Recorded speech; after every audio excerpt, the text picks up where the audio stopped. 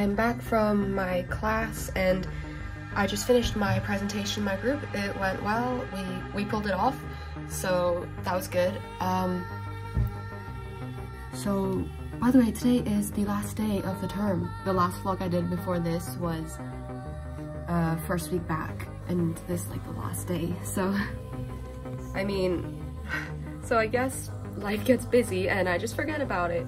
Yeah, I'm not really a huge fan of the first term. Like, the first term is always my least favorite for some reason, but we ended on a good note.